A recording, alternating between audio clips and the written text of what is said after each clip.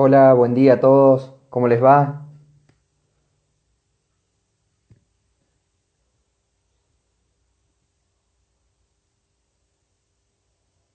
¿Se escucha bien?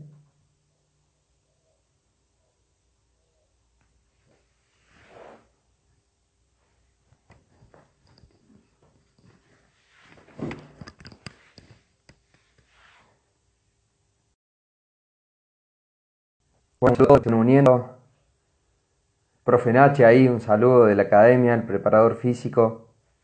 Leo, buen día. Ariel, Pablo.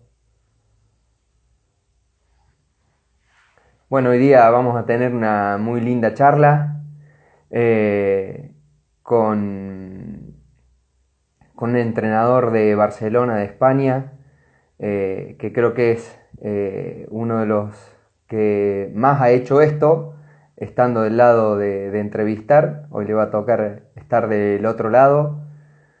Así que bueno, vamos a esperar un segundito que se vaya uniendo un poquito más de gente y le daremos la invitación a Gonzalo López.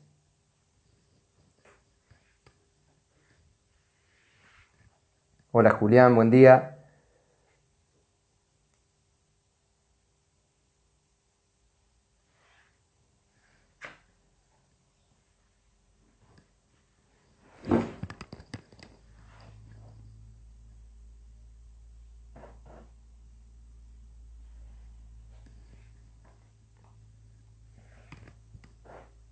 Bueno, veo que se sigue uniendo mucha gente conocida. Gracias a todos eh, por estar.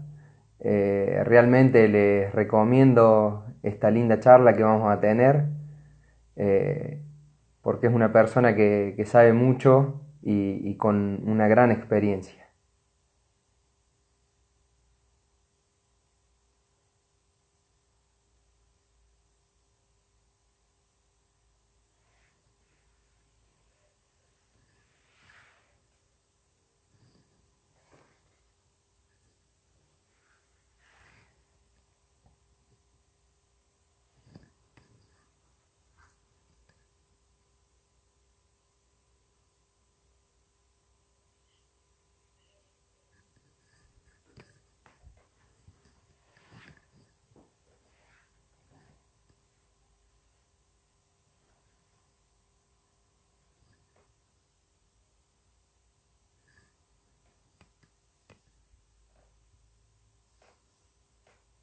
Buen día a todos los profes de los diferentes puntos de, la provincia y del país. Veo que ahí nos saludan de Bahía Blanca también. Así que muy agradecidos. Vayan preparando alguna pregunta que quieran hacer. Eh, y a medida que vayamos haciendo la charla la pueden ir haciendo o cuando final, antes del final eh, hacemos un tiempito ahí para las preguntas.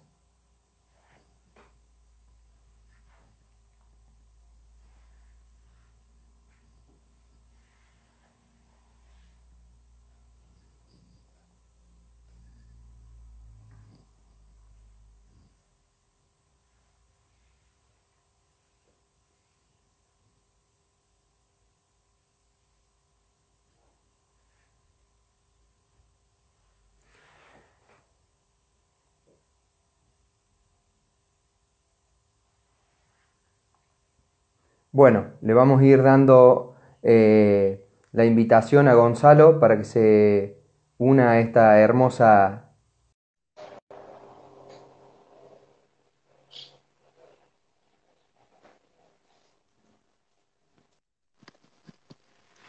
Manchi, Gonzalo. ¿Cómo, estamos? Aquí, esperando bien, tío. Bien, estamos bien. Muchas, gracias por, por la invitación. Bueno, muchas gracias a vos porque eh, no lo dudaste ni un segundo desde el momento que te pregunté. Eh, así que los agradecidos somos nosotros. Eh, hemos estado siguiendo, tanto como yo, como varios profes de Córdoba, todos tus live, que sos el pionero en esto. Yo creo que la persona que más ha hecho en este tiempo, más de 50 seguro. Seguro, seguro. y seguís haciéndolo, así que muchísimas gracias por, por hacernos llegar el conocimiento y la experiencia de, tanta gente. Sí, es, buen formato, es buen formato para acercar personas. Eh, eh, bueno, si te soy sincero, cuando empecé fue mi primera motivación. Yo creo que, creo que desde mi posición es muy buena oportunidad para hacer llegar personas que en otro contexto sería difícil de escuchar. Sería difícil de escuchar a un Moya, a un Correcha, a un Tony Nadal. Entonces, este formato permite eso, acercar esas personas a, muchos entrenadores y mucha gente de tenis que, les sería muy difícil, muy difícil escuchar a estas personas. Y, bueno, y ha salido bien, la verdad es que ha salido bien. Exacto. Más que bien. sí, sí. Así es. Bueno, Gonzalo, eh, voy a ir haciendo eh,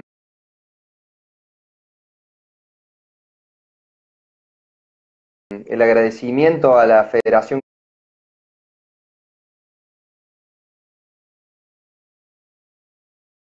Cordobesa de Tenis eh, por brindarnos este espacio y por venir apoyando al tenis de, toda la provincia, también con diferentes eh, eh, de mm, distintos tipos de entrenadores argentinos y este caso el primero que no es argentino, se le ha hecho entrevistas a otros eh, entrenadores argentinos que están viviendo en otro lado, pero bueno, eh, sos el primer internacional que tenemos.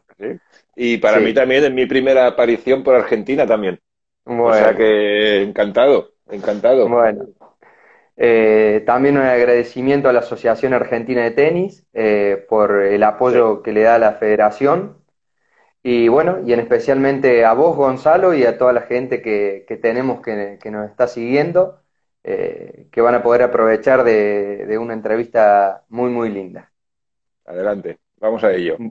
Bueno, eh, vamos a hacer una pequeña introducción eh, del currículum de Gonzalo. Es Gonzalo López, tiene 49 años, es de Barcelona, España fue jugador profesional, llegó al puesto 169 del ATP, que no es nada poco, muy valorable. Eh, es entrenador de tenis eh, desde el año 1998, tiene 11 años como coach en el circuito ATP y más de 700 semanas eh, viajando en el circuito ATP entre jugador y, y coach. Así que una experiencia muy grande que, nos va a brindar hoy Gonzalo. Adelante, sí, camino, hay que recorrer camino, es camino recorrido, que es la, mejor universidad. Para mí la mejor universidad es, recorrer camino, recorrer camino, no hay otra. Muy bien. Bueno, Gonzalo, vamos a ir empezando. Eh, contanos un poquito cómo te iniciaste en el tenis. Eh, ¿A qué edad empezaste? ¿Por qué empezaste a jugar al tenis? Eh, bueno, empiezas por familia, porque mi padre jugaba y, piensa que estamos hablando del año, eh, de los años 80, que eh, pues el mundo ha cambiado mucho, España ha cambiado mucho, supongo que Argentina también ha cambiado mucho. Pues años 80 empiezas con tu padre, fines de semana, jugar mucho con tu hermano. yo no entré en una escuela de tenis hasta que tuve 13 años. Hasta los 13 años eh, yo jugaba pues con mi hermano al salir del colegio, los fines de semana con los socios, con mi padre, soy hasta sin entrenador. sin entrenador, nada, a jugar, yo a jugar a tenis, ahora también te digo que jugaba mucho a tenis, mucho. Claro. todos los días me iba al club y siempre había alguien para jugar y si no al frontón, a la pared, eh, fines de semana eh, nos levantaba muy temprano, me iba a jugar a tenis eh, a primera hora de la mañana porque así había más horas de pista, Y por la tarde volvía a jugar, o sea, la tarde, pero eh, yo había jugado mucho a tenis, mucho. Y entonces empiezo con 13 años en la escuela, que es una escuela en Mataró, es una ciudad de mi zona, y también te digo que mi, mi primer torneo fue con casi 14 años, el primer torneo que juego yo, con casi 14 años. ¿sabes? Y en esa escuela pues tuve suerte porque había, había un referente un referente de docencia en aquel momento muy importante en Cataluña. Cataluña es, es la, comunidad donde está Barcelona, que es Joaquín Moure, un, referente en la docencia. Y con él empezamos en esa escuela y empecé a hacer torneos y bueno, y empecé rápido a ganar, la verdad es que empecé rápido a ganar. Empecé rápido a ganar eh, y la época hasta 18 años eh, e-, era otro momento, ahí no se viajaba a los ITFs, no había todo esto que hay, yo jugaba solo en Barcelona, pero ahí ganaba muchos torneos, ahí ganaba muchos torneos en, en aquellos años, en 15, 16, 17. con 18 eh, gané el Ediger, el Ediger lo gané yo de 18. Y bueno, fue una época, eh, ya, ya del Mataró ya a los 16, a los 15, Joaquín Moure me ayudó mucho porque eh, en aquella época no habían tantos grupos de competición como hay ahora en Barcelona, estamos hablando del año 85, las posibilidades de saltar a un grupo más profesional eran pocas.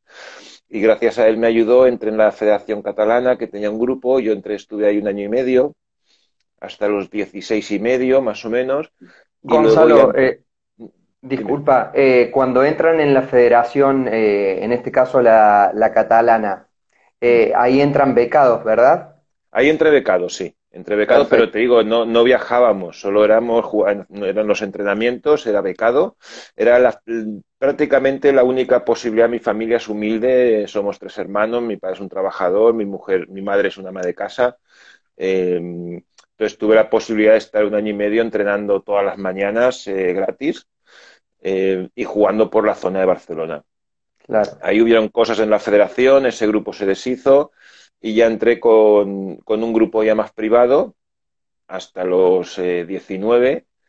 Eh, 19 eh, años eh, estaba 300 de ATP, yo, con 19, que, en aquel momento no era nada. O sea, yo no, tenía ni contrato de raquetas ni nada. Ahora sería un, un, chaval con 19 años, 18 y medio, que esté 300, pues sería un bombo, ¿no? Yo gané el Ediger, estaba 300 y aquí no se enteró ni Dios. No, sabía nadie.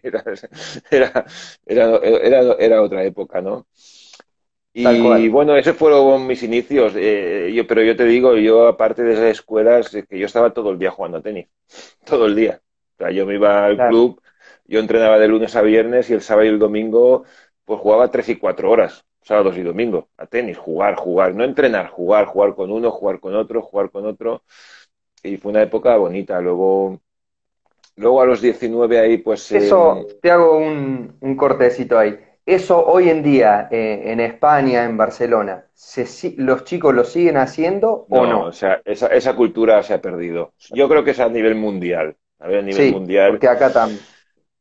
Salvo casos muy especiales, eh, acá también.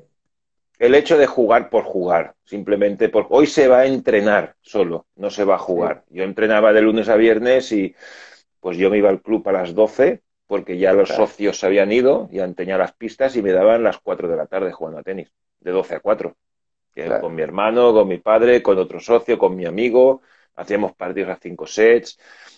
Y, eh, yo creo que es importante, eso, eso te da bagaje, eso te da horas, horas de pista, horas de pista que, a los chavales hoy les hacen un poquito de falta más horas de pista. Más horas de pista jugando, no entrenando, jugando. A ver. entiendo. Y, y, el ver y jugar mil torneos, eh, me encanta, me encantaba competir y también te digo que en aquella época en invierno no competíamos. Nosotros eh, cuando empezábamos el colegio en septiembre ya no competíamos hasta Navidad igual un, algún torneo por equipos eh, y hasta Navidad. Luego jugábamos, eh, volvíamos a ir al colegio, colegio entrenar, colegio entrenar hasta, hasta Semana Santa, hasta, hasta abril. Igual habría algún torneo por Barcelona, tal. Y el verano lo jugábamos todo el verano, semana tras semana, sin parar, semana tras semana. Bien. Y nada, y, y esa fue hasta los 18, la época junior. Eh, y empiezo, bueno, empiezo el profesional y ahí con 19-20 pues yo me, me, desfocalizo un poco, no tengo las cosas muy claras, eh, tengo muchas dudas que no lo sé gestionar muy bien y estoy un paro tres de años eh, no en la dirección correcta, siguiendo jugar a tenis, seguía jugando a tenis mucho, muchos torneos, pero mm, no en el sitio correcto, no en el sitio correcto me fui, me fui un poco, hasta que con 23, pues la vida te da más madurez, empiezas a cogerte otra vez, fue cuando cogí eh, mi ranking y a los 26, 27 ya digo, hostia, yo ya no voy a ir más para adelante, ya el tenis había cambiado, ya empieza a entrar una nueva generación de jugadores y yo ya veía que no tenía armas y decidí ya ahí eh, seguir jugando un poco más, pero en otro formato, por dinero, equipos en Alemania, torneos de dinero, y hasta que lo dejé con, con 28, ¿sabes? Es un poquito mi, mi camino, mi camino, ¿sabes? Aparte de los... Piensa que aparte de todo eso ATP, yo en España he ganado más de 250 torneos, ¿sabes? Torneos nacionales. Torneos nacionales. En aquella época había muchos, ahora sigue habiendo, pero ahora todo está más profesionalizado, hay mucho más futures. En aquella época, pues muchos de esos torneos, pues algunos eran fáciles, de 10, 6 eh, eran fáciles, pero 3 eh, eran torneos como un future y 2 eran como un challenger de, de un corte bajo. ¿Sabes? Había que, había que jugar bien. Eh, y eso ha sido un poco, pues, pues, pues, mi carrera, mi trayectoria, más o menos. ¿Sabes? Y, y de ahí, Gonzalo, ¿cómo, eh, ¿cómo fue la decisión de pasar a ser entrenador? ¿O siempre lo, lo habías tenido claro de antes? o... Hombre, al final es por inercia, ¿no? Te plantas con 28, también piensa que una carrera como la mía, pues eh, no te da poder económico en absoluto, tienes que acabar y, empezar a trabajar. Entonces empecé a trabajar en Alemania, yo jugaba por equipos y, el, entrenador del club eh, se iba, entonces yo dije, puedo ser entrenador aquí, me gusta mucho Alemania, estaba muy bien en, donde yo jugaba. Y entonces empecé a trabajar en Alemania en el club que yo jugaba, encargándome de todos los jugadores a partir de 14 años. Todo, todo eso era mío. Eh, un trabajo horroroso. O sea, ahora, ahora lo veo con el tiempo y digo que trabajo más fácil, pero en su momento sales de jugador y, y, no lo gestionas bien. Necesitas, necesitas un periodo de adaptación. Te falta psicología de entrenador, te falta metodología, te falta entender cosas que en ese momento no entendía. Pero luego ahí estuve poco tiempo, estuve ocho meses y a principios del 98, 99, no me acuerdo exactamente ahora, eh, entrené a Julián Alonso, que en aquel momento era top 30. ¿Sabes? Eh, porque yo lo conocía de mi club, de mi club de Mataró, yo había crecido, eh, bueno, él es más pequeño que yo, pero yo cuando él tenía 14, 15 años, pues siempre jugaba con él a tenis, siempre. Bien. Bueno, cogíamos, pasábamos horas jugando. Y entonces esa fue mi primera experiencia con una ATP Tour, en el año, creo que 98. Ganamos una ATP Tour, ganamos Bolonia, bueno, yo no, ganó él Bolonia. Sí. Era jugador de Copa Davis y, fue mi primer año ahí. Entonces ese año acabó y, rápidamente yo formé siempre grupos de competición, yo siempre he estado ligado a la competición. En a la club empecé, empecé a tener una academia en mi club, cogí un club en, Valencia, otra ciudad de Barcelona, otra ciudad de España, en Valencia, y teníamos todos los programas de adultos, de mini de todo, pero también teníamos un grupo de competición de 25 jugadores por las tardes, por las mañanas y, siempre competición. Así es como empecé. Eh, cuesta un poco al principio, necesitas un, un, par o tres de años, calculo yo, para reciclar tu cabeza, para empezar a coger un ritmo de entrenador, para empezar a coger psicología, eh, diferentes metodologías, empiezas a tratar a la gente de otra forma. Hay un periodo de adaptación ahí. Claro, muy bien. Bueno. Y mm, Gonzalo, ¿cómo ves el desarrollo del tenis hoy en España en general?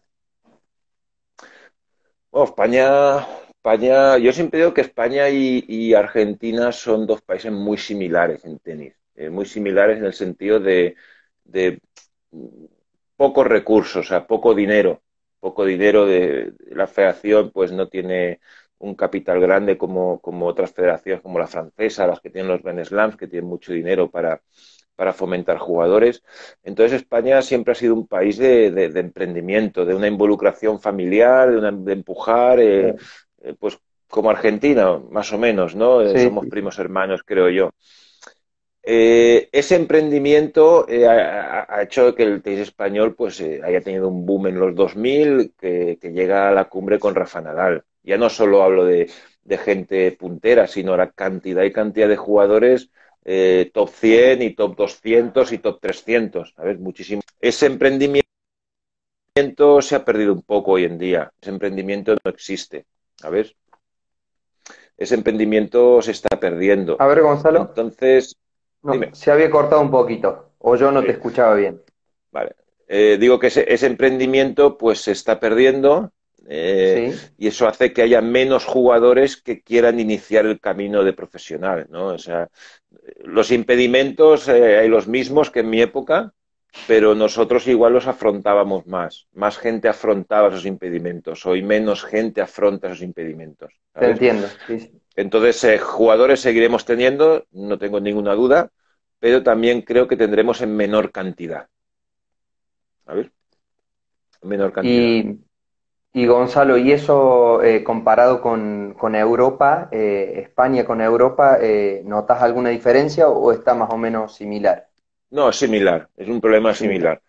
Es similar. Bien. Eh, eh, con la diferencia, por ejemplo, de que con la Federación Francesa, pues tiene eh, mucho dinero para meter en jugadores, entonces al final, al final hay, hay, una regla muy universal en todo, que es de la cantidad de la calidad.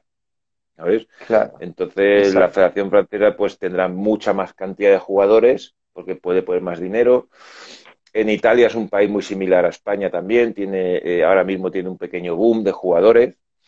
Eh, Alemania pues sigue con, siempre tiene jugadores, pero ese referente que ha sido España en Europa, en, eh, vamos a seguir siendo un referente, obviamente, vamos a seguir siéndolo, pero bueno, ya veremos en el futuro si ese, ese referente va a tener los mismos éxitos o no que los últimos 25 30 años, que ha sido espectacular. Es que, ha sido espectacular. Es que, aquí, es que aquí ha habido, ha habido campeones todos los años. Y todo, ¿sabes? Piensa que España en los últimos. Yo hice una estadística que estaba, estaba metiendo en el top 100 entre dos y tres jugadores al año. ¿eh? ingresando, claro. Ingresar en el top 100 desde el año 90 hice la estadística, jugadores nuevos españoles en el top 100 habían entre 2 y 3, entre 2 y 3 todos los años.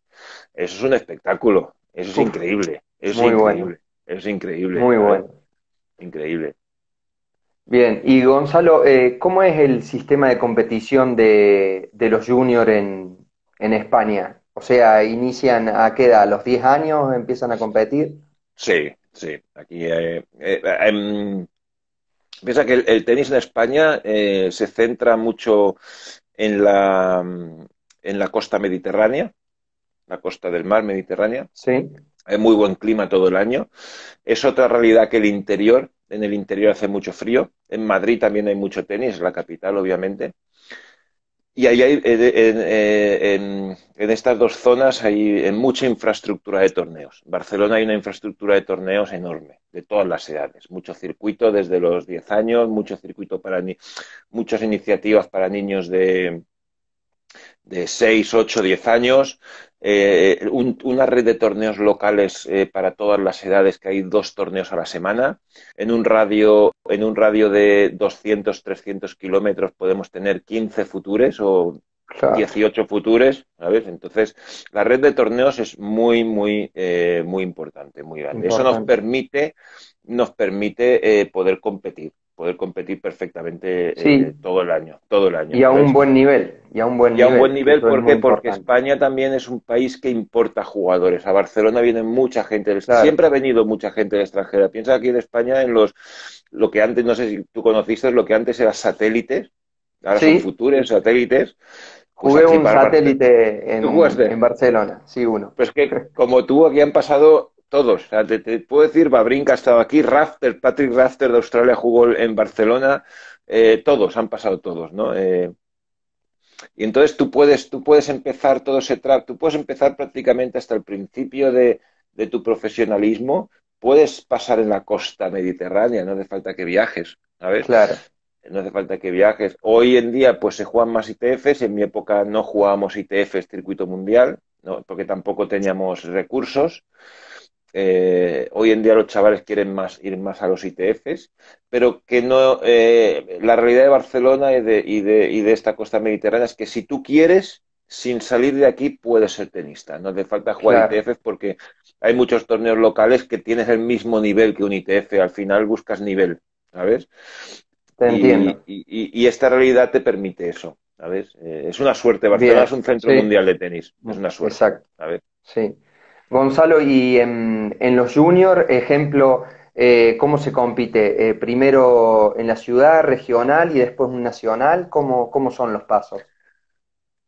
es que no hay pasos definidos, no hay pasos definidos. Hoy cualquier chico en cualquier escuela pues ya sale a jugar ITFs. No, no, no. Eh, en mi época, pues si tú ganabas en el club, jugabas en la comarca, si jugabas en la, ganabas en la comarca, eh, ibas, ibas eh, ampliando el horizonte. Hoy en día, pues todo el mundo ya lo amplía muy rápido. Entonces se van a jugar juniors, el circuito juniors es más presente mucho más presente, la gente viaja más a los juniors, pero, pero no hay una regla fija con unos pasos determinados, sino eh, eh, no, no, no, existe eso, no existe eso. Obviamente eh, hay muchos chicos a lo mejor que no están preparados, pero bueno, vamos a jugar ITFs juniors. Bueno, pero si, si en Barcelona no ganas, ¿a qué vas a ese ITF junior, no? Pero el mundo ha cambiado, el mundo funciona así, ¿sabes?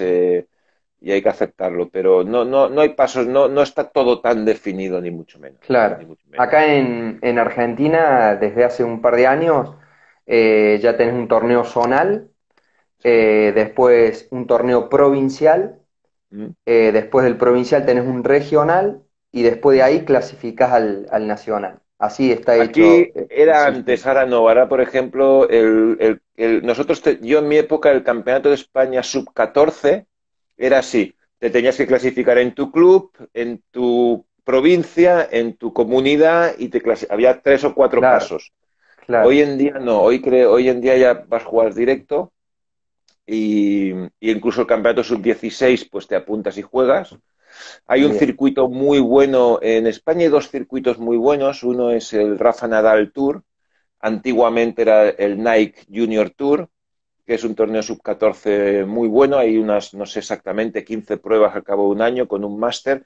Todos los mejores van ahí. Hay un torneo sub-16 que lo organiza eh, Luis Mediero de la, del registro de tenis justo junto con el diario Marca, sub-16, que hay unas 20 pruebas al año, un circuito muy bueno.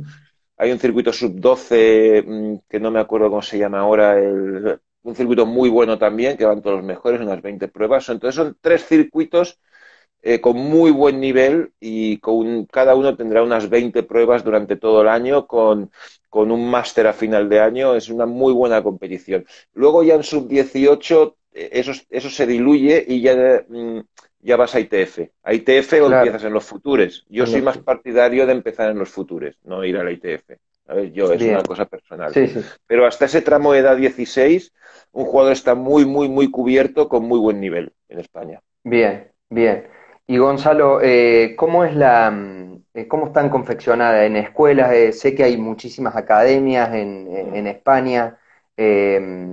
¿cómo, ¿cómo, se organizan? O sea, ¿son clubes o, hay muchas academias? El, los clubs. Clubs es donde empieza todo donde empieza todo. Hay una red en España de unos 1.200 clubs. Y España es un país que respira competición. O sea, cada club eh, tiene todos los programas, algunos... Eh, eh, depende de dónde está ubicado el club, pues tiene más personas en la escuela o menos personas, pero todos los clubs tienen un programa de competición que cubre muy bien las edades entre 10 y 14 años, las cubre muy bien, la verdad. Bien. Eh, España es un país que, respira competición. O sea, rápidamente cualquier club, cualquier entrenador siempre, pum, competición, siempre está pensando en la competición. Entonces, por ejemplo, eh, eh, donde yo trabajo, tiene una escuela de tenis que hay 400 alumnos, entre todos, todos los programas, adultos, mini tenis, todo, pero hay un grupo de competición que tendrá unos 30, 40 jugadores entre 10 y 14 años. ¿Sabes? Esos ya entrenan ya entrenan eh, más específico, ya es otro nivel de entrenamiento. Claro, eso es una cantera y una fuente muy grande de jugadores. Obviamente hay un filtro y a partir de tú pasas esa etapa y entonces la gente ya se deriva a, grupos, a grupos o academias o el mismo club, eh, algunos ya no todos, algunos ya producen eh, un programa hasta 16 años, pero eh, depende de la ubicación y depende eh, el, el, volumen del club, pero en Barcelona pasamos de club, pues hay muchos grupos de competición, están las academias grandes. yo, por ejemplo, tengo un grupo, un grupo, lo mío no es academia, yo tengo un socio y tenemos 10, 12 jugadores, no más. Entonces, como yo, pues en Barcelona hay tres o cuatro sitios más que funcionan muy bien. No soy yo el que funcione mejor. Estos grupos funcionan muy bien. Luego te pasas y ya tienes unas academias medias, medias que, mueven en torno a 50, 60 jugadores, que puedes tener eh, la Academia de Bruguera, el BTT, no sé si lo conoces, que está encargado Francis Roth, son academias medias. Y de ahí ya pasas a la academia grande, que es Emilio Sánchez, que está en Barcelona, que es un centro grandísimo, ¿no? Entonces, está cubierto, todo el jugador está cubierto en Barcelona, todo, todo. Te entiendo. Eh, bueno, hemos hablado mucho de, España, de eh, contanos un poquito qué, conoces o cómo ves el, tenis argentino. O Argentina es una, yo soy enamorado de la escuela argentina, a mí me encanta la escuela argentina, te digo porque somos como primos hermanos, ¿no? Y, en mi época de jugador conviví con muchos argentinos y yo creo que eh, em, Argentina le, está pasando, le pasa un poquito como a España. La última jornada de grandes jugadores esa, esa la de Navaldian, Coria, Puerta, no sé cómo lo llamáis vosotros, ¿no? ¿Cómo le llamáis? La Legión. La Legión, ¿no? Esa Legión, pero ya no solo eso, es que detrás tenías a, a Zabaleta, eh, tenías a Esquilari, tenías luego, o sea, increíble, ¿no? Sí, sí, sí, sí, sí, venimos de, varios años eh, Exacto, exacto, pues eh, eh, supongo que eso también lo, lo, estáis notando, que la sociedad ha cambiado, pues la gente eh, ya no está tan interesada por el tenis, el tenis es un deporte eh, no duro, hay que comprometerse, ¿sabes? Hay que comprometerse, la gente no tiene, ese tan, no tiene tanto compromiso. O sea, yo me acuerdo en mi época que venían los jugadores argentinos a Europa, venían en marzo y volvían a casa en septiembre. A ver, se quedaban aquí en un club jugando en Europa, hacían de base en el club, se pasaban seis, siete meses en Europa. Eso hoy no se hace, eso hoy no se hace. Eso hoy no se hace, o al menos no, no en el mismo grado que antes. Y eso es una cosa que Argentina tiene que recuperar para volver a, tener jugadores, porque a falta de recursos, a falta de dinero, eh, tienes que tirar de emprendimiento y de ganas. Y de ganas. Yo no hablo de los profesores, creo que Argentina el, el conocimiento de tenis es muy grande, para mí de los más grandes que hay en el mundo, junto con España. Eh, yo tengo amigos entrenadores argentinos que tenemos chats y constantemente estamos hablando. es un entendimiento muy grande eh, en el tema, todo el tema coaching. Pero falta que los jugadores y las familias quieran iniciar ese camino, que es un poquito el camino que está, que, está recorriendo España también. Es que la sociedad va hacia ahí, ¿sabes? Va hacia ahí, ¿no? Te entiendo. Y tenísticamente somos dos países muy similares, un juego de tierra, un juego de solidez, un juego eh, basado en, muy, muy con, un orden muy grande en la pista, con mucha mentalidad, eh, eh, tíos muy duros. Somos dos, dos, dos, dos escuelas muy similares tenísticamente. Exacto, así es. Gonzalo, para vos, ¿qué es ser un coach? Hostia, pues ser un coach es yo siempre lo digo hoy, eh, ser un coach, ser un coach de competición, eh, eh, primero no siempre, has de ser consciente de que no siempre vas a entrenar a buenos jugadores.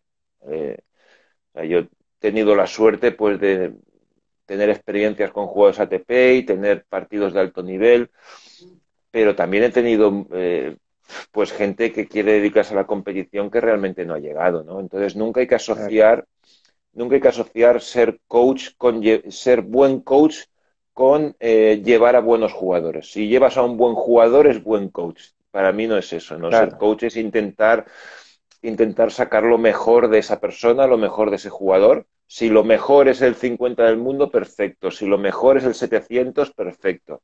Yo, por ejemplo, tengo grato, grato, gratos recuerdos de hacer un gran trabajo con gente pues que la he cogido el 1000 y la he dejado el 700. Pero es que ese chaval no, no podía dar más, ¿no? Y, hicimos un trabajo espectacular. Y tengo recuerdos de jugadores ATP que a lo mejor no has podido hacer un trabajo espectacular por las razones que sean, ¿sabes?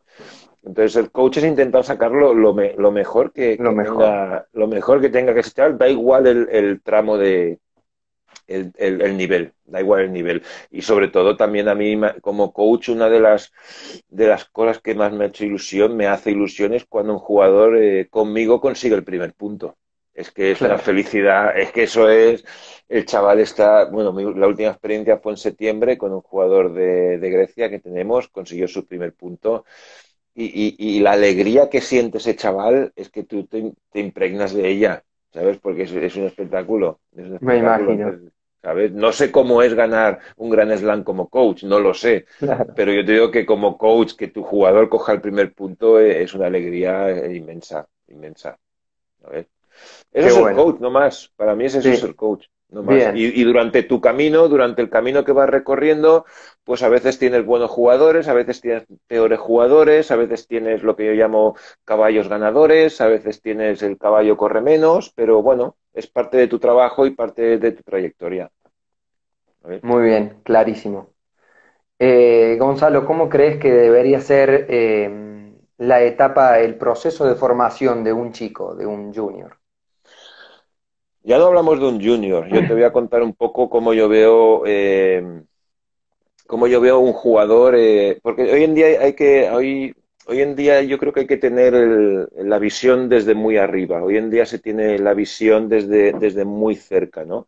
Y si tú tienes una visión desde aquí arriba de lo que es un jugador, eh, tú piensas que un jugador estadísticamente normal entra en el top 100 con 23 años. Bien entra. Sí.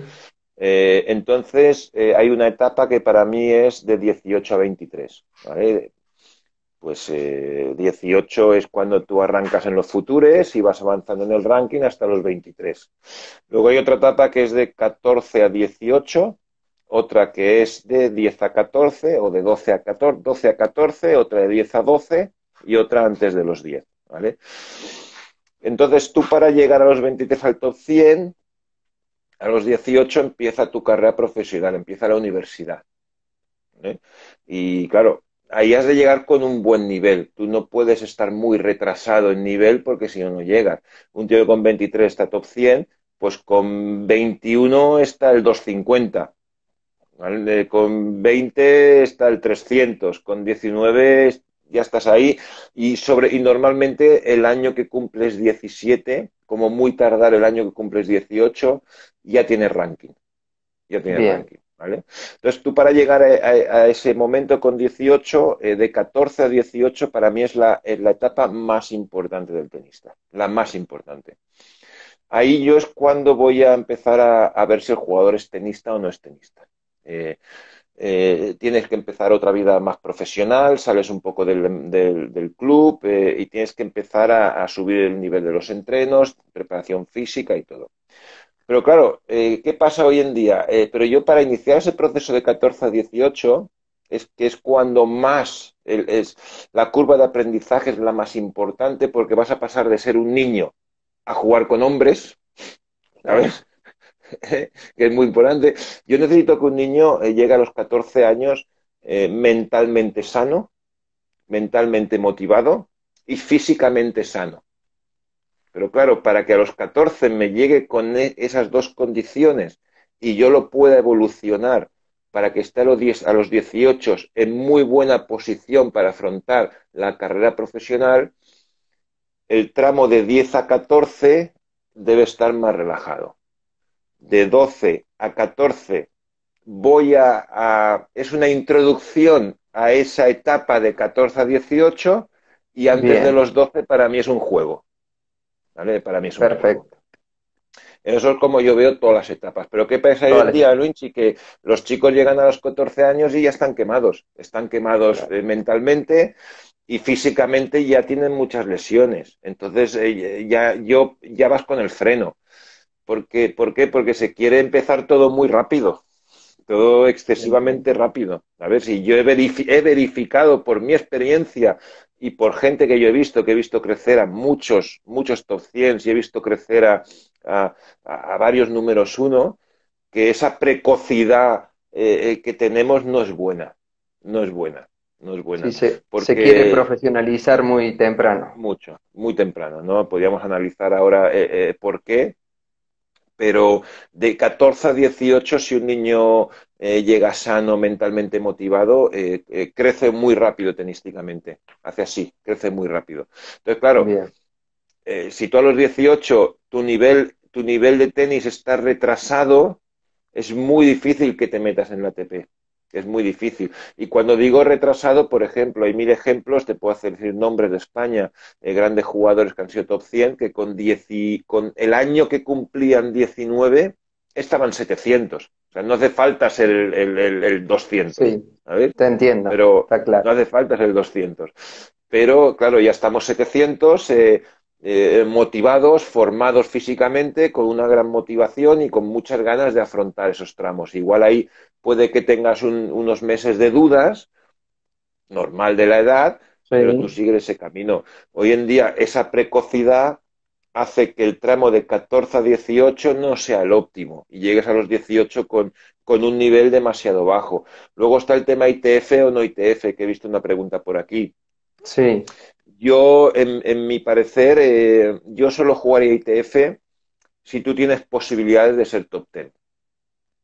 ¿Sabes? Claro. Porque, para obtener eh, beneficios después. Para obtener beneficios después. Porque un top 10 de ITF tiene buen nivel. Ahora, jugar ITF para estar el 70 ITF yo lo veo una pérdida de tiempo. Prefiero pasar de 16 a 18 eh, juega futures, empieza a jugar futures y empieza a coger ritmo y empieza a jugar futures. Aprovecha esos años, no los aproveches para estar 70 de la ITF, que no sirve para nada. ¿Sabes? Te vas a gastar mucho dinero y realmente, y realmente no va a dar un valor añadido a tu tenis. ¿Sabes? Entonces, si, ¿sabes? Eh, ese siempre es un tema que se dice. ¿ITF o futures? Pues bueno, pues eh, yo lo enfoco así. Yo lo enfocaría así. Estos para mí son los tramos de edades, con lo cual si yo quiero que mi jugador y que, mi hijo sea top 100 con 23, pues eh, yo estoy tranquilo, tiene 11, Bien. a ver, me quedan años de carrera. Estoy en el año 3, ¿sabes? Queda mucho tiempo. Claro. Eso es lo que pasa hoy. ¿Me bien, Gonzalo?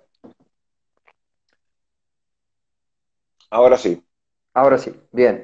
Eh, Acá justo una pregunta eh, que pregunta Liliana Romero, que si con respecto a las niñas eh, es igual el proceso o similar. Las niñas podríamos poner que es bastante similar, lo que pasa es que las niñas son más precoces eh, en tono. Las niñas son, pues si estamos hablando de, de, los tramos con 18, pues con niñas ponlo en 16 ¿Sabes? Avanza todo un poquito en las edades. Las niñas maduran antes mentalmente eh, y, tienen que ser un poquito más precoces en todo. Pero yo más o menos lo enfocaría exactamente igual. Eh, en su circuito femenino, está claro, en su circuito femenino. ¿Sabes?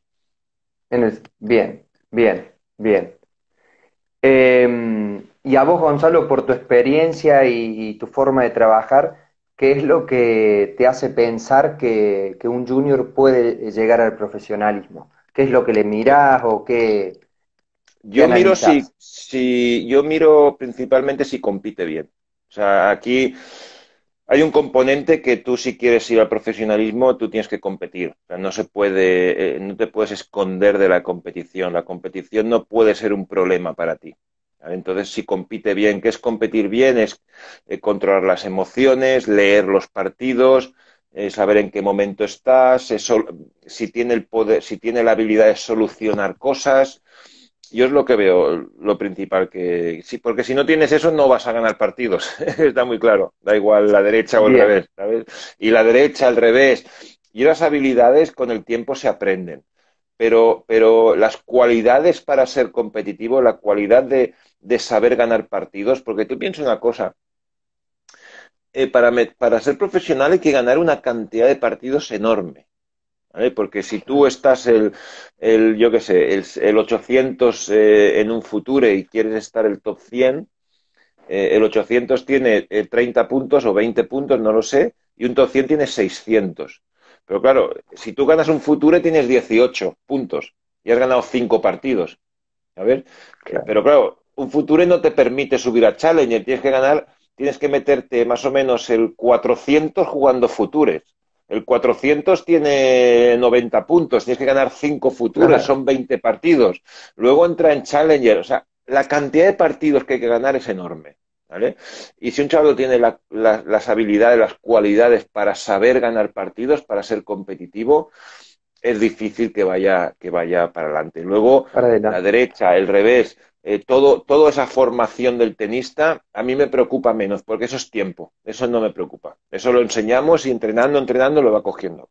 Pero un chaval, y esas habilidades se tienen ya desde joven, desde joven hay que tenerlas. Hay que empezar a tenerlas. puede ser un tío que no sepa ganar con 12 y con 18 sabe ganar. No, a lo mejor tampoco la línea es tan, la línea es tan, es tan, tan estricta, porque a lo mejor un chaval con 12 no gana porque está un poco loco, eh, pero sí tiene las habilidades, hay que saber leer, hay que saber leer, ¿sabes? Hay que, pero para mí yo es lo primero que me veo, me veo eso y segundo, en su entorno, cómo son sus padres, cómo se relaciona con sus padres, qué tipo de padres, porque el padre tiene una influencia enorme en el niño, ¿sabes? Entonces, eh, padre loco, probablemente no hay tenista. Entonces, porque eso es una cosa que has de lidiar otra vez, has de, has, de, has de trabajar con el padre hoy en día, ¿no? En mi época mi padre, mi madre me vino a ver tres veces jugar a tenis, porque era una ama de casa y no podía. Y mi padre tenía su trabajo y, hoy los padres están mucho más presentes eh, constantemente, entonces es una realidad que hay que, hay que convivir con ella pero quiero saber eh, cómo, estar, cómo es la relación padre-hijo, eh, cuánta influencia tiene el padre en el hijo, eh, que el grado de protagonismo que quiere el padre en el hijo, tú, siempre digo a los padres, tú eres un espectador de la película, no un protagonista de la película. Claro, clarísimo. Entonces, si el padre quiere ser protagonista, vamos mal, ¿vale? Si el padre es, si el padre es un espectador y el niño tiene habilidades competitivas, bingo, ahí hay posibilidades, ahí hay muchas posibilidades, ¿sabes? En eso más o menos es lo que me fijo yo. Perfecto. Y mm, vos, Gonzalo, ¿tenés tu sistema de, entrenamiento eh, o te adaptás a la necesidad del jugador? Bueno, el sistema, eh, hombre, vas, eh, con los años vas, vas, yo soy diferente entrenador ahora que cuando empecé soy diferente. Eh, yo creo que al final un entrenador tiene que encontrar, eh, tiene que encontrar eh, un, no sé cómo decirlo, como una base de principios, una base sobre la cual trabajas, ¿vale? Y, y sobre esa base vas añadiendo elementos dependiendo del jugador. Vas añadiendo, tienes una base, una filosofía, un paradigma y luego tienes herramientas, muchas herramientas, pero el paradigma es el mismo. ¿Cuál es el paradigma para mí? Para mí el paradigma es que el jugador entienda este juego, entienda cuándo atacar, entienda cuándo defender, entienda cuándo está defendiendo, entienda cómo pasar de defensa a ataque, entienda cómo atacar bien, entienda cómo liderar, entienda eh, la situación del partido, eh, eh, que sepa ese deporte. Y luego tiene las herramientas las herramientas para, eh, para construir ese paradigma. Y esas herramientas, pues igual son diferentes a cada jugador dentro, pero siempre estamos hablando de un camino. El camino no es tan así, el camino es así, vas variando un poquito, porque al final el tenis, claro. Eh, el tenis, si, si, no eres sólido y, y, no sabes pelotear con el contrario y no sabes jugar a tenis, eh, no vas a ningún sitio. Luego veremos si tu derecha es tu golpe ganador es paralelo, o tienes un gran saque, o ya veremos qué eres, pero siempre basado en esos conceptos, ¿no? Son conceptos, son conceptos que en España se trabajan mucho y supongo que en Argentina también. Si te fijas, esa generación de que hablamos de argentinos, la Legión, eran tíos solidísimos. Es que, es que entre todos fallaron 10 bolas, ¿sabes? Entre todos, ¿sabes? Luego cada uno tenía su identidad. Coria tenía su identidad, Navaldian tenía su identidad, Cañas tenía su identidad, eh, cada uno tenía sus armas, Zabaleta pues iba más por aquí, el otro más por allá, pero bajo una misma filosofía, ¿no? Y, y eso es lo que, lo que a mí me gusta y eso se construye desde, desde pequeñito, desde, desde que empiezas con, con 12 añitos, tú ya tienes que entrar en ese camino. No vale, no, yo, no, yo he visto poca gente, poca, que con 12 falla, falla muchísimo, no sepa de jugar y luego es profesional. La gente buena, de profesional, de jovencito, ya entiende todo esto, ya lo entiende. O, lo tienen en un grado muy grande, ¿sabes? Ya que estamos ahí en ese tema, explicarnos un poquito qué es la competitividad. para mí, la competitividad, la competitividad para mí es, es eh, em, tu grado, la habilidad que tienes de peloteo. ¿Qué grado tienes de peloteo? Con el contrario, por ejemplo, si yo juego ahora con Rafa Nadal, yo tengo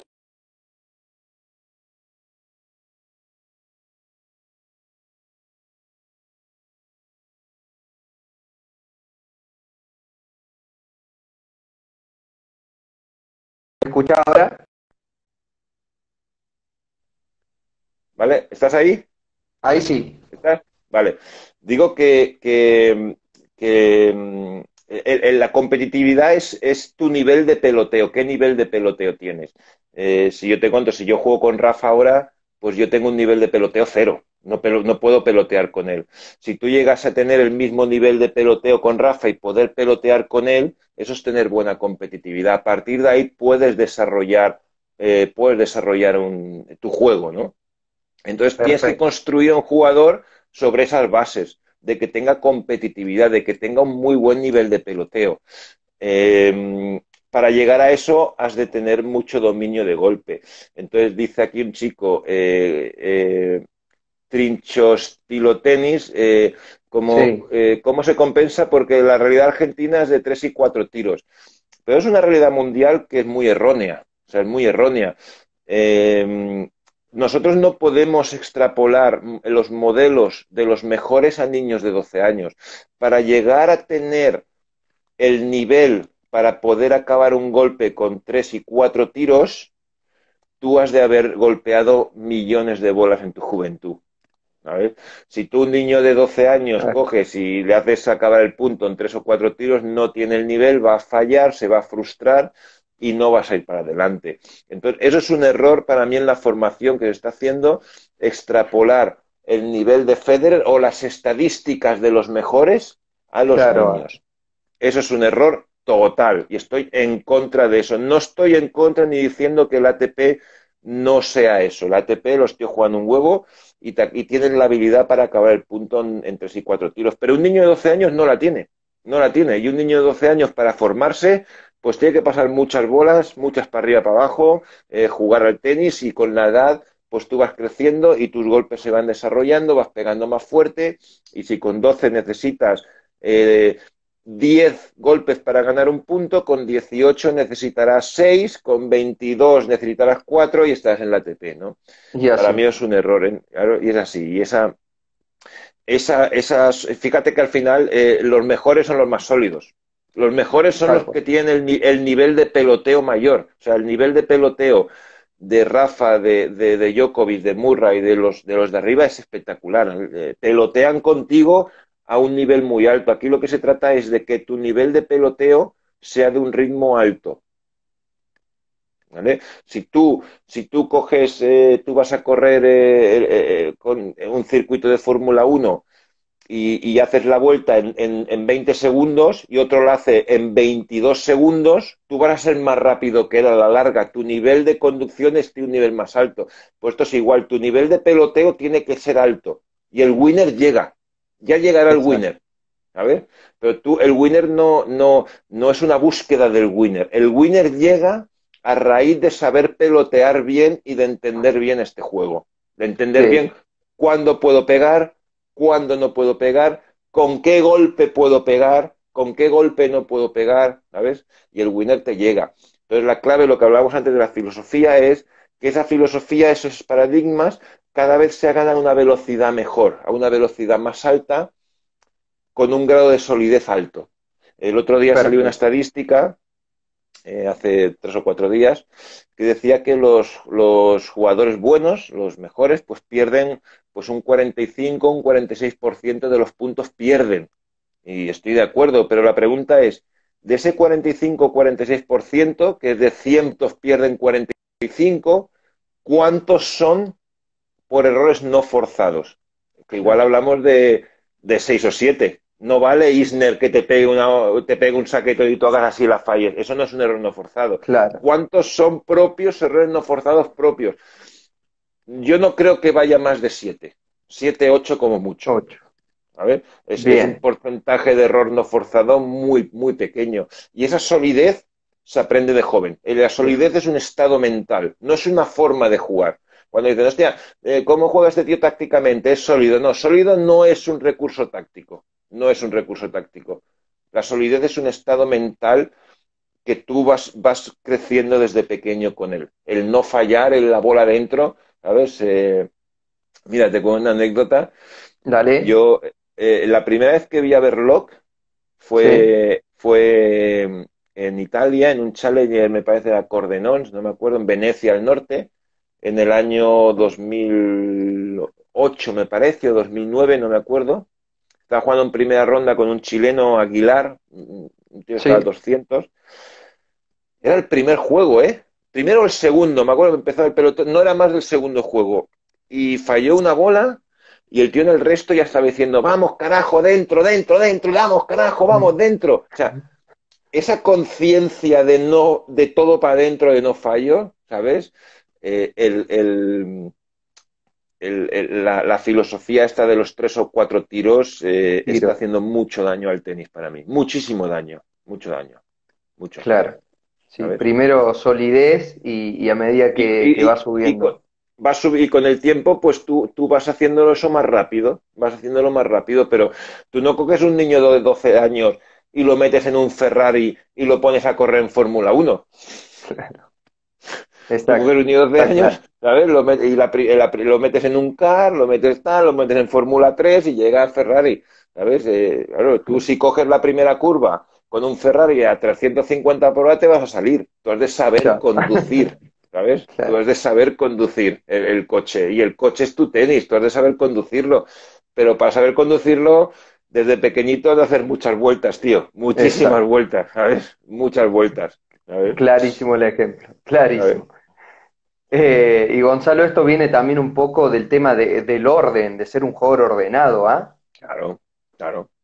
todos los jugadores arriba, todos los buenos son ordenados, cada uno en su estilo. Federer en su estilo es un tío muy ordenado. ¿Qué significa orden? Orden significa entender las direcciones que tienes que tirar, dónde tienes que tirar, porque piensa que un, un tiro equivocado te puede hacer perder un partido. Tú imagínate, tú imagínate, nosotros vemos, nosotros vemos los partidos de Rafa y Federer, que son partidos espectaculares, ¿no? Y fíjate, eh, ¿dónde, ¿hacia dónde lleva el partido Rafa siempre? De su derecha, que es zurdo, al revés de Federer. Imagínate que fuese al revés, que lo llevase del revés de Nadal a la derecha de Federer. ¿Cambiaría totalmente el partido, sí o no? Totalmente. Pues Piensa que una dirección mal, ¿sabes? Una dirección te puede cambiar en tu partido. Entonces el orden es una combinación, eh, una, eh, una combinación de saber dónde tirar los tiros, entender en qué situación estás del partido. Para mí hay cinco situaciones en un partido. Siempre históricamente se han dicho que hay tres, que es ataque, defensa, neutra. Para mí hoy en día hay cinco. Eh, que es eh, la defensa, yo la relaciono con la, defensa extrema. Bien. luego, luego tenemos el ataque. El ataque ya para mí es ya cuando vas a cerrar el punto, eh, ese golpe ganador la volea. Tenemos la neutra, que es no pasa nada. Tú y yo no estamos ni en defensa ni en ataque. Pero luego hay dos. Una es liderar. Liderar, ¿qué es? Liderar es antes de ganar el punto. Es que tú estás repartiendo golpes, tú estás bien posicionado y el otro está corriendo. ¿Sabes? Y luego tenemos lo que es eh, para mí bloquear. Bloquear es cuando el otro a mí me, me lidera, yo no estoy defendiendo, pero estoy bloqueando los tiros, que es una posición, por ejemplo, que Rafa usa mucho, ¿no? Entonces, tener orden es las direcciones, entender estas cinco situaciones, cuándo estoy en una, cuándo estoy en otra, y cómo paso de una a cómo paso otra, a otra. Eh, luego también tienes que entender eh, que esas cinco situaciones eh, son coordinadas con el rival. O sea, tú no puedes atacar y el rival atacar, no se existe. Yo ataco, yo defiendo, yo bloqueo, yo lidero. Yo, yo lidero, el otro bloquea. ¿Vale? Las, situaciones están coordinadas siempre, ¿vale? Gonzalo. Entender. Dime. Disculpa, nos quedan 15 segundos. Si tenemos un tiempito más. Dale, dale, eh, dale. Desconectamos y, volvemos a conectar, ¿ah? Engancha, Dale. engancha. Gracias, gracias.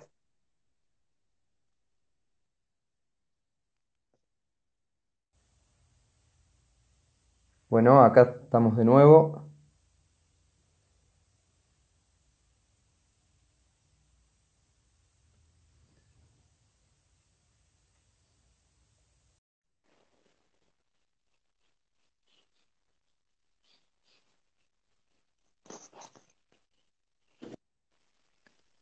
Ahí estamos. Ahí estamos de nuevo, Gonzalo. Pues eh, bueno, eh, eso, eso es el orden. Entonces, eh, y eso unido a eso unido a mentalmente entender en qué situación estás. No es lo mismo que tú estás fresco y, y te notas bien que, uy, cuidado, tú no puedes jugar igual. A ver, entender la situación del otro, dónde está el otro, entonces, si tú sabes combinar todo esto, eh, eh, pues eres un jugador ordenado. Eres un juego ordenado. Y un juego ordenado es muy difícil ganarle. Es muy difícil ganarle. Porque siempre está bien posicionado, te tira donde, donde, donde tú tienes menos posibilidades para ganar el punto. Eh, al final es una es, es, es, es el, el, paradigma máximo para mí es que un entrenador lo que tiene que hacer es ordenar a un jugador ordenarlo, ya está. No es, no es la derecha al revés. Cuando está ordenado, a partir de que se ordena, esos golpes se van a ir desarrollando con el tiempo y va a ser más rápido y, va a pegar más fuerte y va a pegar tal. Pero el orden es una es un, es, un, es, un, es una palabra que usamos mucho en España, siempre se ha usado mucho, al menos yo la sigo usando mucho, y, y, es nuestro max para mí al menos para mí es mi máxima mi máxima eh, eh, mi máximo paraguas. Todo todo gira en torno a ese orden. Todo, a ese orden. todo. Sabes todo. Bien. Eh, bueno te iba a preguntar un poquito de, la, del tema de la diagonal pero ya lo lo mencionaste recién ahí que, que es muy importante una diagonal una diagonal tú si hablamos de táctica un poco, eh, hacía grandes rasgos, para mí hay cuatro niveles, ¿no? Eh, el primer nivel es tú, tú qué clase de jugador eres. Tú eres un, eh, solo hay para mí cuatro clases de jugadores, que son cuatro formas, digamos cuatro formas de jugar al tenis. Para mí hay cuatro. Una es el saque y red, que, ya se ha perdido. Otra es el, el baseliner agresivo, el típico otra es el baseliner de tierra, que es un poco más, em, no más defensivo, yo le diría expectante. Y el tercero es el saque y derecha. Y si tú te fijas, en estos tres, el saque y volea y hoy en día no se juega. Si tú te fijas, tienes a Djokovic, que es el típico jugador baseliner agresivo. Agresivo. Pero tienes Djokovic, tenías a Gassi y tenías a Jimmy Connor. Son jugadores exactamente iguales en esencia. Tú tienes a Nadal, que es un, un baseliner de tierra, que es un juego más, más, eh, más expectantes, pero si te vas para atrás, tenías a Guga Kuerten, tenías a Bruguera, tenías a Vilander y tenías a Borg. Son jugadores en la misma esencia. Y luego tienes el saque derecha, que es eh, Roger Federer, saque derecha, y si te vas un poquito más para atrás, tenías a Sampras, tenías a Lendl, eh, y, y, más para atrás, pues no me acuerdo ahora más para atrás quién puede haber, ¿no? Cada, cada, eh, eh, eh, entonces tú primero tácticamente tienes que meter a un jugador en un sitio y cada jugador tiene sus características y cada jugador tiene un tipo de armas y tiene unas carencias y tiene un tipo de mentalidad y tiene la, la mentalidad de un saque y derecha no es la misma que un baseliner de tierra, son diferentes mentalidades, a ver, y son diferentes swings. Y cada, cada, cada, cada, cada, cada marco táctico, yo le llamo un marco táctico, pues tiene tiene eh, diferentes, eh, una fórmula para ganar puntos. Por ejemplo, ¿qué fórmula tiene un baseliner agresivo? Un baseliner agresivo es, te mete un ritmo de bola espectacular hasta que ya no puedes más. ¿Sabes? El saque derecha, que es? Saco y derechote a todos los lados hasta que no puedes más. Y el baseliner, que es? Te abro espacios con bolas altas, te mantengo atrás hasta que los tres buscan lo mismo, que la bola me llegue noble que la bola me llegue fácil. ¿no? Entonces, primer, primer nivel táctico es eso. El segundo es el conocimiento del juego. El segundo es lo que te hablaba antes, las diferentes situaciones, las cinco situaciones y jugar coordinado con esas situaciones. El tenis del juego es un juego que tú juegas coordinado con el rival. Hoy en día la docencia es, solo juego yo, no, no, eh, el otro también juega, ¿no? Y, y tú has de estar coordinado con el rival, ¿no? Esa coordinación es, muy importante, ¿no? Eh, y luego empiezas a, esos conocimientos del tenis, tú has de conocer el tenis, has de entender este juego, ¿no? Luego te pasas a un tercer nivel que es que eh, tú has de elegir eh, una diagonal eh, de juego. ¿Qué diagonal es la que tú estabilices el juego? El perfecto ejemplo que tenemos aquí es Rafa con, con, con, Federer, que Rafa estabiliza el juego en esa diagonal. cuando tiene algún problema, ¡boom!, se va a esa diagonal, ahí lo estabiliza. ¿Vale? La segunda parte es, eh, para ganar puntos hay que abrir espacios.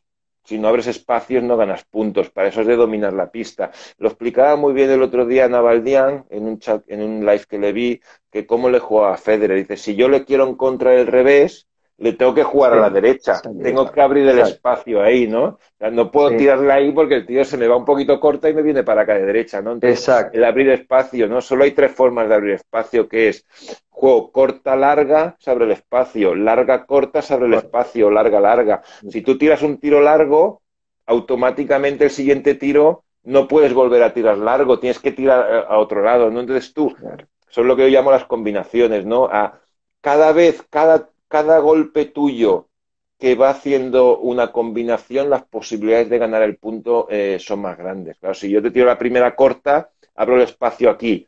A lo mejor no te lo gano, pero si la tiro allí, aquí se abre más espacio, aquí más posibilidades. Si la tiro allí, las posibilidades se van abriendo, ¿no? Clarísimo. Básicamente. y luego al final, Y luego ya el último, el último nivel es, es tú ya entiendes todo esto, es créalo. Pues yo voy a jugar contra ti, y tengo que crear un sistema, eh, tengo que crear eh, lo que yo llamo un, eh, sí, un sistema, un sistema en el cual dentro de todo esto yo mantenga un liderazgo en el peloteo contigo. A ver, que lo mantenga. A ver. Y si yo mantengo ese liderazgo, yo tengo más posibilidades de ganar puntos. a ver Clarísimo. Qué bueno que, que, un chico logre entender todo esto. Todo esto. Todo Entonces, eso es, claro, todo esto es un poquito así resumido lo que es lo que lo que es un lo que es un organigrama eh, eh, táctico y el entrenador pues también tiene que, entender todo esto para, para, para, si él me va a decir a mí eh, cómo jugar o, la táctica es una tendencia no puedes decirle juega aquí juega allá es una es una tendencia es un, es una guía no es algo fijo, porque los días ni las situaciones cambian y en el 1-1 está fresco y lo ves todo clarísimo y en el 5-5 pues ya no lo ves muy claro todo, ¿no?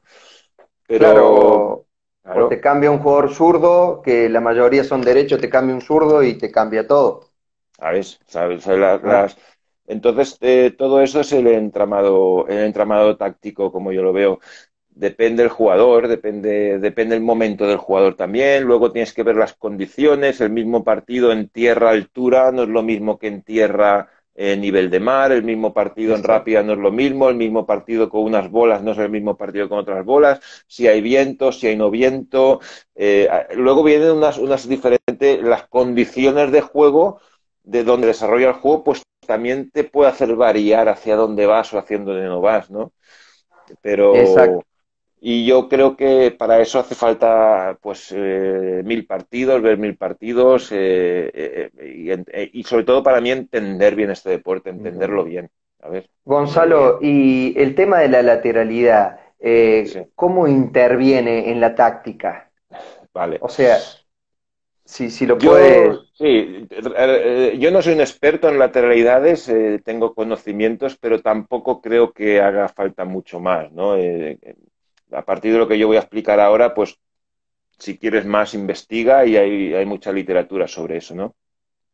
La lateralidad básicamente es que tú ves con un ojo y el otro acompaña, ¿no? En todas las personas, no son en el tenis. La prueba se hace, te pones aquí el dedo, ¿sabes? Entonces tú eres eh, ojo dominante derecho o ojo dominante izquierdo. ¿No? Ojo dominante derecho, trabaja tu lado izquierdo del cerebro, ojo dominante derecho, trabaja tu lado eh, izquierdo, trabaja tu lado derecho. Esto afecta, esto afecta al golpe. ¿vale? Si te fijas, los ojos dominantes derechos se llaman homógenos, son Gastón Gaudio, son Murray, es Djokovic. Fíjate cómo son, es, es, incluso Navaldian. Fíjate cómo son sus derechas. Sus derechas son un poquito, tienen que esperar un momento más. ¡Pam! ¿Por qué? Porque tienen que verla.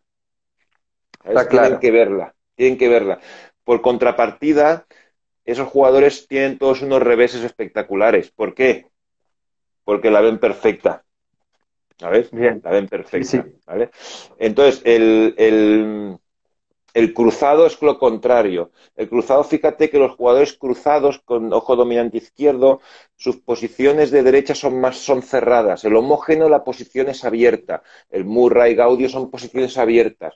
El, Federer, el Songa, el Monfils son posiciones cerradas porque la ven en abierta les cuesta más, pero por contrapartida, si te fijas de reveses, ya son, ya no lo tienen tan bueno como la derecha.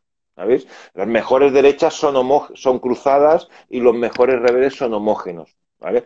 ¿Esto qué implica? ¿Qué implica una táctica? Esto implica de que eh, mentalmente también hay diferenciación, que es que los homógenos normalmente necesitan tener un juego mucho más ordenado, eh, son menos, eh, menos propensos a la improvisación. Por ejemplo, un Murray necesita orden en el juego para ganar. El, su cabeza necesita orden. Federer no. Federer es más, es más inventivo. Tú a un homógeno no puedes enseñarle, en general, hablo en general, ¿eh? perdón, a un cruzado, tú no puedes enseñarle más de cuatro o cinco golpes, porque su cabeza no acerta ese orden. Son cerebros más creativos, más artistas, digamos, ¿no? Y a un homógeno son, son personas más propensas a la rutina. ¿Sabes? Entonces, tú, ya, tú ya sabes eh, eh, un poco eh, la mentalidad de cada, cada jugador, ¿no? Entonces, si yo voy a jugar contra un homógeno, que sé que la bola le entra aquí, pues yo lo que hago es, es pegarle rápida abajo porque va a tener problemas. Si yo juego contra un cruzado, a priori, la diagonal a su revés va a ser más factible. Y te voy a poner un ejemplo de eso. Había un jugador americano, eh, eh, eh, afecta la táctica, obviamente te estoy diciendo que esto, esto es una información más, no es el ABC ni el santo grial, pero te da cierta información y también te da cierta información cuando estás trabajando con jugadores. Un jugador homógeno eh, le has de hacer una derecha acorde a esa, a esa cualidad. Y, un jugador, y sabes que va a tener carencias, eh, perdón, sabes que va a tener ciertas carencias aquí, sabes que por ahí va mejor, derecho, y un jugador cruzado igual. Ten cuidado eh, con el revés aquí porque no lo tiene tan bueno y tal, ¿no? Entonces, mira, yo jugué, cuando entrenaba Jesse Levine, ¿te acuerdas un jugador americano que tuvo mucha mala suerte? Se llamaba Brian Baker entonces que se movía entre los 50 del mundo, que era homógeno, ¿no? Y entonces yo con, eh, le dije, mira Jesse, le vas a pegar eh, de revés, ¡pum! El azurdo Jesse, de tu revés a la derecha de Baker, así, para abajo. Que le dé, no te preocupes, no busques ángulos, que le dé. Pero claro, para un homógeno esa es la peor derecha. Porque no la ve, le viene muy rápida y tiene problemas. Fíjate que todas estas derechas que estoy hablando, cuando la bola viene así muy rápida a la derecha, tienen problemas. Gaudio, ¿cuál era su peor derecha? Cuando, ¡pum!, zambombazo aquí, ¿no? Te digo, tú le tiras ahí con tu revés para abajo y esperas a que la levante. Yo creo que no tardará más de dos o tres bolas en levantarla. El tío, como ahí está incómodo, va a querer cambiar paralelo pero va a querer cambiar paralelo porque ahí se ve atrapado y te la va a levantar. Y tú, como eres zurdo, ya vas con tu derecha, pum, hostia cruzada, que es tu golpe. Claro. ¿Sabes? Entonces, eh, clarísimo, eh, ¿no? ¿Eh? si yo cojo la otra diagonal, si yo cojo la otra diagonal que Baker era homógeno, de revés es súper sólido, yo no la, iba. Entonces, si yo quiero. Que, aunque la derecha era mejor que el revés, pero en esa situación, las posibilidades de que la bola noble llegue rápido son mayores. ¿Sabes? Obviamente luego el partido tiene que salir redondo y tiene que ir todo bien, y, ¿sabes? Pero en ese partido en concreto salió redondo y fueron, se fue 6-3-6-2, ¿sabes? Fue redondo ese partido.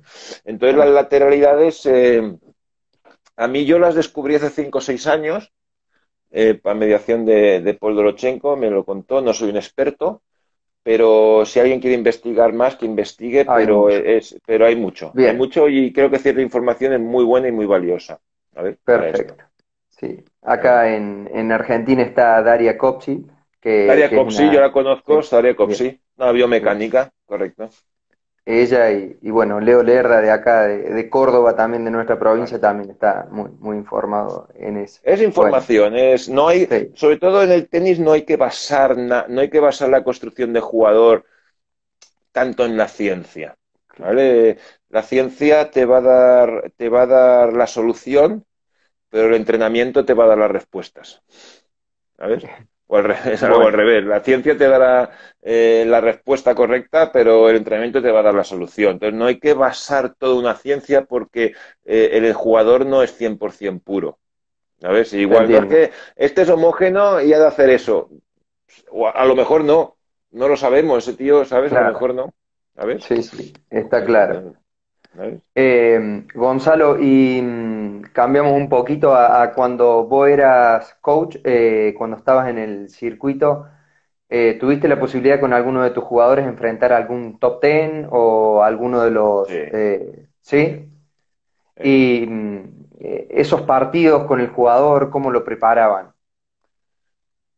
Básicamente mentalmente, que, que, no se sienta, que no se sienta pequeño que no se sienta pequeño. A veces piensa que tú, un jugador que está en torno al 50, al 60, eh, pues no tiene posibilidades de jugar en una central. ¿Sabes? Que hay eh, claro. Entonces tú ganas un par de partidos y te enfrentas a. Te enfrentas eh, a. Me acuerdo una vez, por ejemplo, en, en, Roland Garros con Timur Gabashvili, ganó un par de rondas, se enfrentó a Roddy, que estaba al 5 del mundo en la central. Entonces, mi jugador no, si no es con esos jugadores, tú no juegas en las centrales. Entonces, primero hay un miedo escénico, es una pista más grande, te ven 15.000 personas, ¿sabes? Entonces tú tienes que, que, que, eh, que, ese, que ese ambiente no te pueda. ¿sabes? Para mí es primero que tú te sientas cómodo en ese ambiente, que tú estés confortable. Y a partir de ahí eh, eh, empezamos, el tenis ya lo tienes, pero para mí lo número uno es eso, que esté a gusto al otro, que no tenga miedo escénico, que no tenga un miedo escénico, eh, que la situación no le pueda. Eh, preparamos así, preparamos así. Esos eh, y, y, luego que y luego piensa que normalmente cuando salen esos jugadores ahí, pues salen muy nerviosos y cuando un jugador, cuando un top de estos se va en el marcador, es muy difícil cogerlos.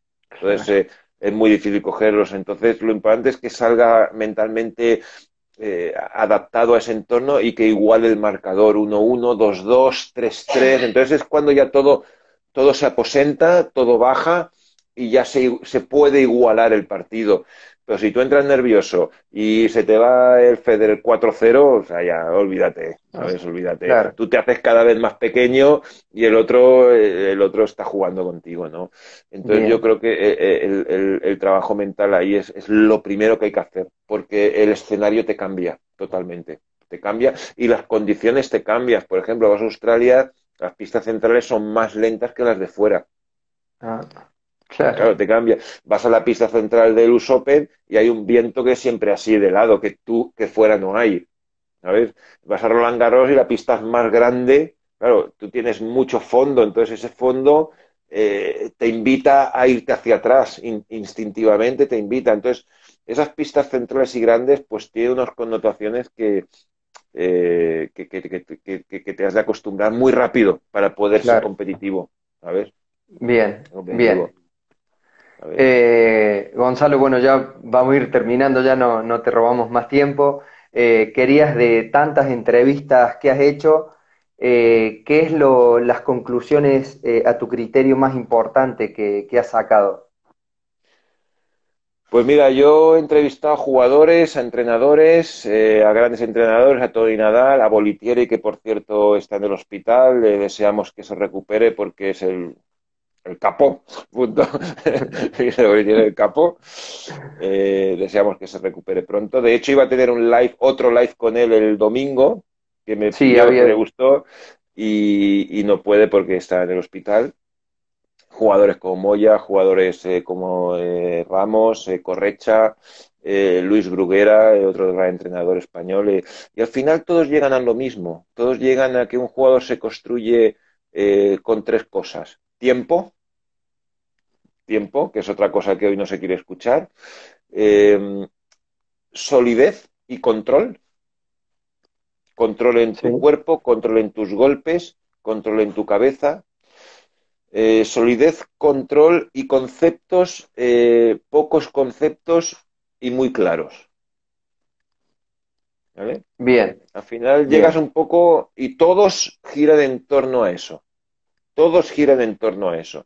Si le preguntas a esos grandes entrenadores, te hablan de esto. Si le preguntas a los jugadores, pues te hablan que ellos de pequeño eh, eh, entrenaban mucha, lo que hemos hablado antes, ¿no? Mucha bola, mucha bola y poquito a poco, bueno, eh, Moya tiene una derecha espectacular y no creo que Moya sea una derecha antigua. Moya es una derecha moderna de... increíble. Pero te habla de control, te habla de entender el juego, todos hablan de eso. Nadie habla de, de hacer el winner en tres golpes, ni de hacer el winner en cuatro golpes, ninguno te habla de eso, y yo los conozco a todos y cuando los veo por ahí hablamos de tenis, y ninguno habla en esos términos, ninguno, ninguno. Tony Nadal lo mismo, Tony Nadal hablas de él, solidez, eh, valor, humildad, no hay más historia, no queramos inventar cosas y que no hay más invención. Esto, el tenis hoy en día se está complicando muchísimo Estamos, se están cuestionando muchas cosas, se están añadiendo eh, muchos elementos a, los swings, a, la táctica, a la técnica, y yo creo que puede llegar un momento que hasta sea contraproducente para el juego, hasta que ya no sirva. ¿Sabes? Pues creo que, que está llegando un momento que eso ya no sirve, ya no da nivel al jugador. Te puede crear un swing más eficiente, no digo que no, pero no te da nivel no te da un nivel de peloteo, con el contrario, claro. ¿sabes? Está claro, está claro. Entonces, todos, todos, todos giran en torno a lo mismo. Un poquito más para acá, un poquito más para allá, pero sobre esas tres cosas giran todos. ¿sabes? Bien, bien. Eh, bueno, para ir cerrando ya, eh, unos consejitos para los papás, para los chicos y para los profes, y con eso ya Gonzalo te, te dejamos. Para los papás, eh, que sean para los papás que, sean eh, espectadores, que tengan confianza en el entrenador, que acepten que a lo mejor que su hijo va a perder y que si pierde eh, no es culpa de nadie, el entrenador quiere lo mejor, que busque un sitio que él confíe y si no confía, pues que lo cambie, da igual, pero que busque un sitio que él confíe y deje a su jugador deje a su hijo en manos de ese entrenador y se aparte que no dé mensajes contradictorios. Si el jugador, el entrenador le dice que tu derecha es así, que no vaya el padre y le diga, no, no, es que tu derecha no es así, es asá. ¿Sabes? Claro. Sino que, eh, que dejen trabajar, que dejen tiempo, que acepten que su hijo va a perder, que, esto es una carrera muy larga y que confíen en el entrenador. Al jugador, al jugador siempre digo lo mismo, que eh, lo mismo, que confíe en su entrenador y que luche por su sueño que luche, pero que luche de una forma eh, de verdad, de verdad, y que de verdad significa que si te gusta el tenis de verdad, tío, pues tienes que, tienes que jugar mucho a tenis, eh, tienes que ver mucho tenis por la tele, no un highlights en YouTube, sino verte esos partidos de Coria, Nadal, de Roma de cinco horas, tío, póntelos a verlo las cinco horas, menos PlayStation y más ver tenis, ¿sabes? Que cómo se aprende, y que, y que, y que toda su vida gire en torno a esa actividad, toda su vida sin, sin, ser, sin ser un, sin entrar en, en, en, ser un esquizofrénico, sin entrar en, la obsesión, pero toda tu vida tiene que girar en torno a esa actividad. Y a los entrenadores, eh, si quieres ser un entrenador de competición y quieres progresar un poquito en la competición, pues eh, hacer recorrido. O sea, eh, hacer lo que llamamos aquí kilómetros. hacer kilómetros y, encontrar ese espacio que tú puedas desarrollarte como un entrenador de competición. Eh, la competición eh, no es segura, Si buscas seguridad, la competición no es tu sitio, ¿sabes? Quédate en tu club, con tu salario, la competición no es segura, a veces eh, muy bien, pero a veces me ha ido muy mal también, ¿sabes? Eh, hay que recorrer kilómetros. Eh, yo he tenido la suerte pues de ir a Roland Garros, estar en las centrales, he tenido la suerte de, entrenar con los mejores, pero también he hecho mucho future, mucho, mucho, mucho, mucho future. También he hecho mucho torneo local de sub 12, de sub 14, o sea, y, la vida, pues mira, llegará un momento que a lo mejor te entras en una situación que te permite, pum, dar un salto, ¿sabes? Pero hacer kilómetros, hacer kilómetros y, tener ilusión en ese camino, es que no hay más, no hay más. Exacto. ¿Sabes? No hay más. Bueno, Gonzalo. Sí. Desde ya, eh, muy, muy agradecido. Eh, agradecido a la Federación Cordobesa eh, de Tenis por, por prestarnos el espacio y, poder hacerte esta entrevista que, que para mí es un honor y un orgullo. Aparte, tú me has seguido en todos los lives, siempre te veo ahí viendo. te he tomado nota de todo, ¿eh? Luego, al final de aquí haré un examen, ¿eh? Cuidado, ¿eh? Estoy, estoy listo. Eh, así que bueno, y te felicito a vos por, por brindarte con nosotros y, todo este tiempo en, en hacernos vivir tenis, ya que no se puede. Mm. Eh, así que muy agradecido y contá con nosotros para lo, que necesites. Aquí tenéis un amigo para lo que queráis, ¿vale? Igualmente acá, cuando venga, acá te vamos a invitar con un buen asado. Seguro, seguro. un abrazo a todos los asistentes también y gracias a la, federación por, la plataforma que nos, ha dejado, nos ha dejado usar. Perfecto. Bueno, Gonzalo, muy amable y gracias por todo. Abrazo, Abrazo grande. tío. Abrazo. Chao, chao.